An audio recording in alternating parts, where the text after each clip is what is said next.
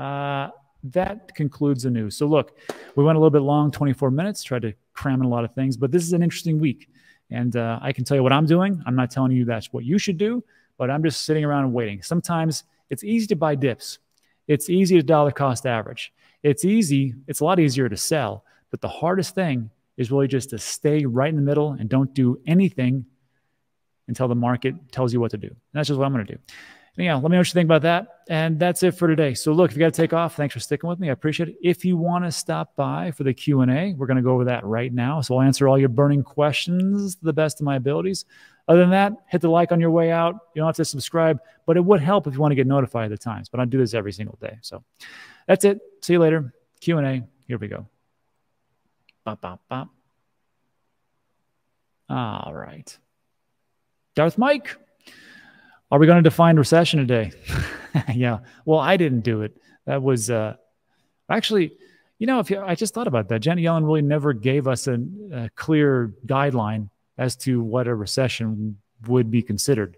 I guess she's been talking to Gary too much. Well, I mean, well, she used to hold that that seat of the SEC, so she's really good at that. Uh, poor Janet. History will only remember her distorted and disingenuous portrayal of the economy. She lied to the people for the regime like somebody was in bureaucracy. I don't know. The older I get, the more I'm just thinking that sometimes people just get things wrong. And uh, sometimes people say, well, it's nefarious purposes. Yeah, maybe. I don't know. Who knows? SD says the numbers are bad. Just trying to soften the blow. The numbers are bad. I, I'm pretty sure we're going to have two two quarters of GDP decline and what's going to be called a recession. The question is who's going to call it recession? And now we're going to have a dichotomy of people who in the in the media and people like me would say we're in recession and we're going to have the White House and the talking heads like it's not a recession even though it's that's what we used to call it all the time. Sure, whatever. So we'll see. Fed rates, recession. I will definitely start DC this week. Crypto sounds like a plan. Go ahead. That's your plan. Sounds good. Take profits. I'm not your dad. Nice. Said it for me. Tom, good morning. Hey, Rob, you'll be glad to hear FTX give my money back to me just in time for the dip. I didn't know they were holding money. It's interesting. Uh, must have missed that. Let's see. Will ETH miners move to ETH Classic once proof of work is over? I'm not for sure. I don't think that's that would be an interesting topic. You know what would be great is to get some miners in here uh, to talk about that. I'm not a miner, so can't really tell you. Gary Reed. Uh, hey, NS Miles, what is a Satoshi equivalent to? Well, pennies, really. Uh, let's see. Let's see. Satoshis. Yeah. Satoshi to dollars. So Satoshi is just the, uh, let's see, there it is. One sat equals, here it is, one Satoshi equals a fraction of a penny, 0.0002 right now. But hey, if it becomes the world reserve currency like some people think it is, it'll be worth a lot of money. Do I think that's going to happen? No. But uh, good luck. But hey, and what Michael is talking about, there's a link in the description for two two apps that are free. One is Sweatcoin, which you can download and earn sweat. The other one is S Miles or Smiles, where you can uh, earn uh, satoshis just for walking, and it's free. You don't have to buy an NFT like STEPN, or you don't have to buy any cryptocurrency. It's free. So I just use both of those on my phone, and I just earn both. So yeah. Uh, Bitcoin going below 20k. Your thoughts? I think it. I think the way it does that is if the earnings report come out and just they're just awful and just awful awful and the, the thing is that people like in 20, 2017, 2018, 2019, no one was talking about Nasdaq and the and the S and P 500 and the traditional markets and how it related to crypto because it was really not that well correlated. But now it really is because those institutions are overlapping and and buying in. And of course, when they want uh, liquidity and they want to sell, what's the best place to do that? Well, there's only one place that's open 24 7, 365, and that's crypto. So if the earnings report came out, and uh, let's be honest, uh, Apple. I mean, the top five companies are really holding up uh, the S&P 500. Uh, Microsoft, Apple, Google, Amazon. uh, well, what was what was Facebook or Meta. So if those start to take a big tumble, that's a big tumble. That's a big loss for a lot of people around traditional finance. So I could see Bitcoin going below 20k. Sure, why not? Didn't wasn't it just at 17k like about uh, three weeks ago? So it's not a it's not outside the realm of possibility. And I got to tell you, for people like me who have just been patient, that's a godsend. Yeah. Gray hair is a distinguished look. I agree. That's why I don't use any of this stuff. All gray hairs need to go for good. Yeah. Let's see. Rate hikes, stop borrowing, slow spending, lower prices. Exactly right. And the first the first industry to get hit the hardest is uh, real estate. I mean, look, like we talked about. I mean, we were just had like 2.3, 2.25, 2.3% uh, mortgage rates not too long ago. Now we're at five. We're almost at six. We were almost at six percent. Now we're down around 5.5, 5.6. Correct me in the comments. And that's huge. I mean, if you're looking at a house for four hundred thousand dollars at uh, three and a half percent APR, that's not bad. You can afford that monthly. But then when it goes up to five and a half, you're like, whoa, I almost just doubled my monthly payment and I didn't get paid double at my job. I can't afford that. And then that stops. And then that house sits in the market a little bit longer for the next person to come over and say, maybe they can, maybe they can't. And then as time goes on, these builders who have built these pretty nice big houses, they got to start taking cuts, haircuts on their products. So people can actually buy them up. They don't sit too, too long on there.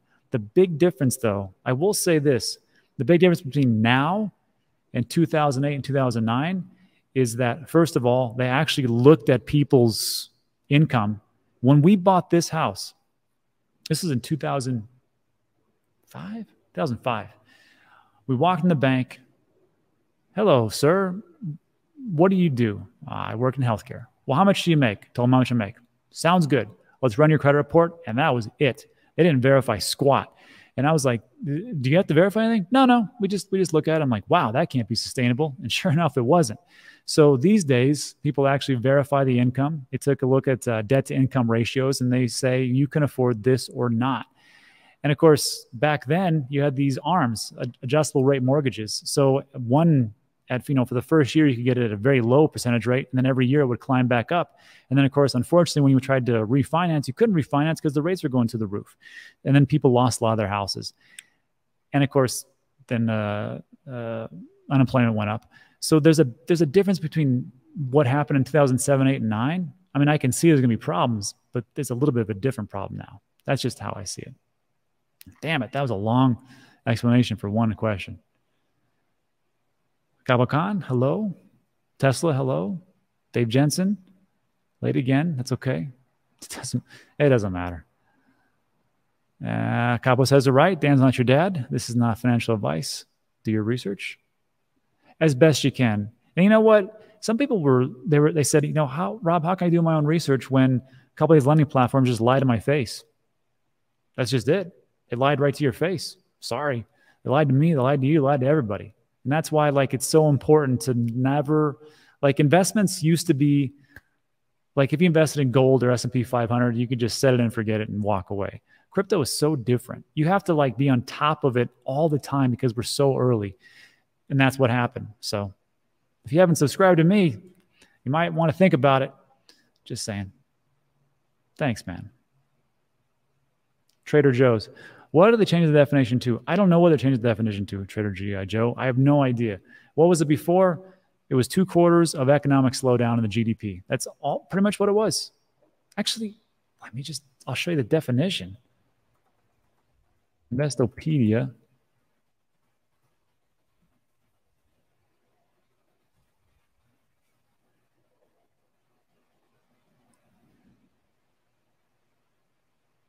Uh, uh, huh. So let I just typed in recession definition. This is from Investopedia, and it says this is not what the White House says.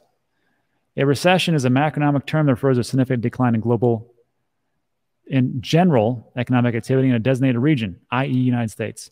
It's been typically recognized as two consecutive quarters of economic decline, as reflected by GDP in conjunction with monthly indicators such as rise in employment. That's that is true. And of course, if we take a look at it, GDP was down in Q1. Now we're in Q2.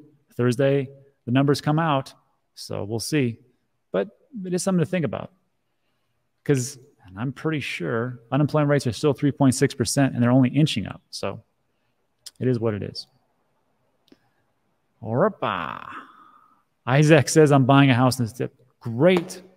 If it was me and my wife talked about this last night, and we said that we're not buying any properties for 12 or 18 months because I think there's a more of a slide coming for houses.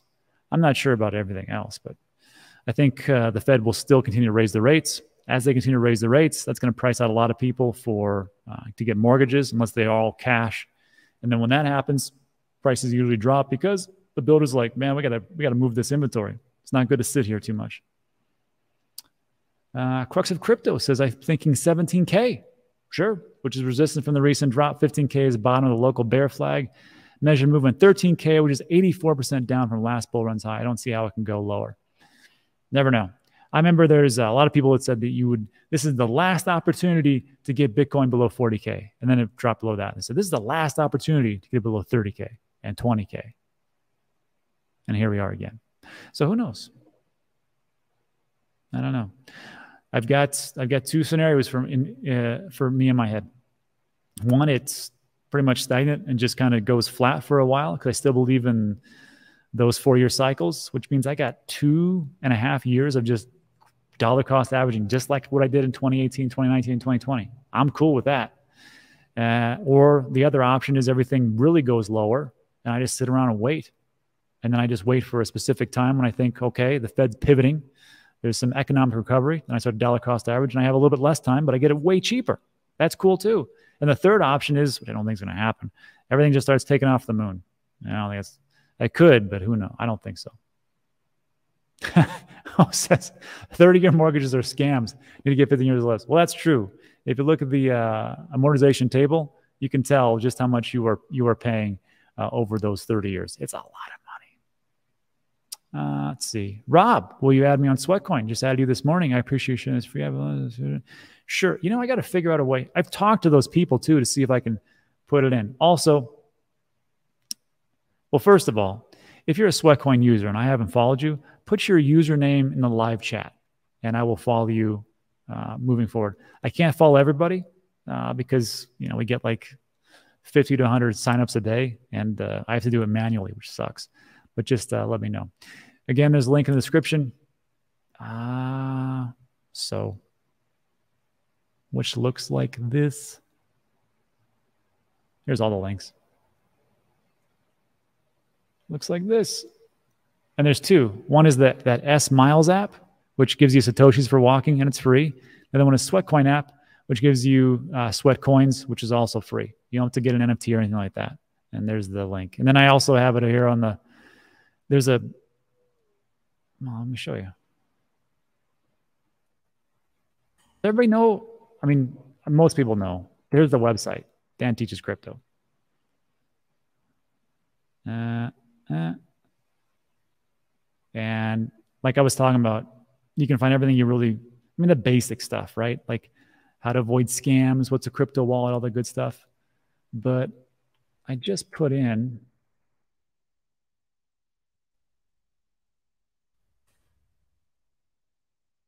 how work. Sweatcoin and how it works over there. So have fun with that one. All right. So yeah, so Elliot, just put in your username and I'll follow you. Boo.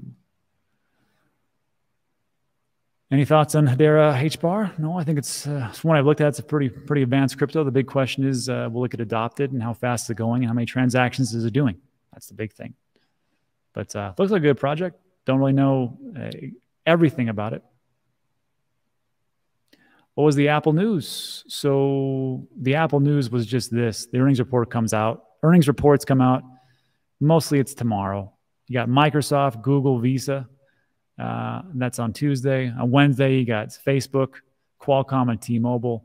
And on Thursday, you got Apple, Amazon, Mastercard, so on and so forth. So that's the big news. And if they miss their earnings report, just expect for a big decline.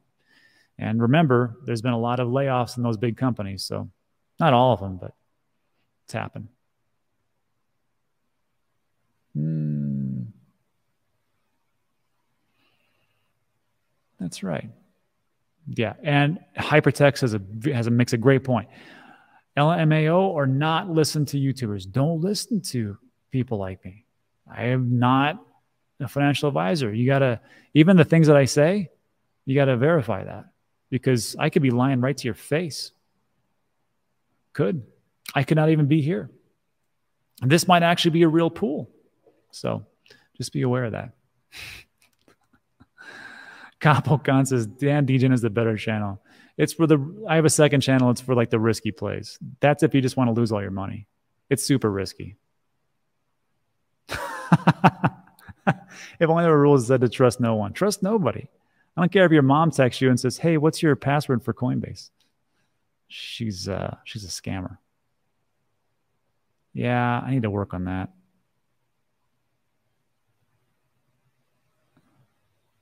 Yeah, that'd be good. All right. So let's see. Really? CZ filed a defamation against Bloomberg. Was that old or new?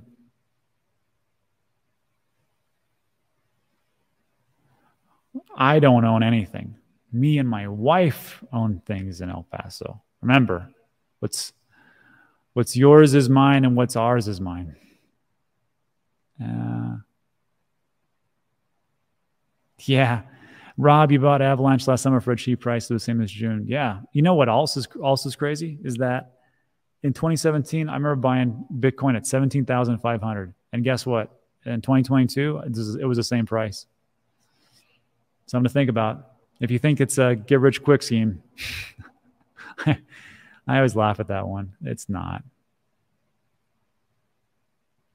Tell a story about your time at Fort Sam Houston. It's great. That's where all the medics go to train. All the medics and the nurses and the military and uh, are for uh, medical services. Usually for unless they changed it. And I was there for a couple of years. It was a long time ago. You try Pi Network? No. Hmm. What happened to CJ and Alex? I'm not sure. I could be. Uh, oh, look at that. Tiffany says, uh, thanks, Rob. I'm out listening to you and using Sweatcoin SMLs right now. If you talked about the other I'm telling you, uh, I don't know why people don't don't use it. I think a lot of people do. Okay, great. Flying a Sweatcoin between 17k and 17k. Exactly. Uh, I'm still into Metacoin. Ooh, that's a good point. Uh, where'd this go? Gary Gary says, I don't think Apple's dipping this week with their new sales of the M2 MacBooks. Interesting. Well, I hope you're right, Gary. That'd be awesome. Ah, Gary read back backing tracks is actually Gary Gensler. I knew it. All right, buddy. So that is it for today. Look, um, a lot of things are going on. I'm going to interview the gentleman from uh, Satoshi Island. I just, I looked at that project. I'm like, it's actually like a friend of a friend. It looks cool. It does.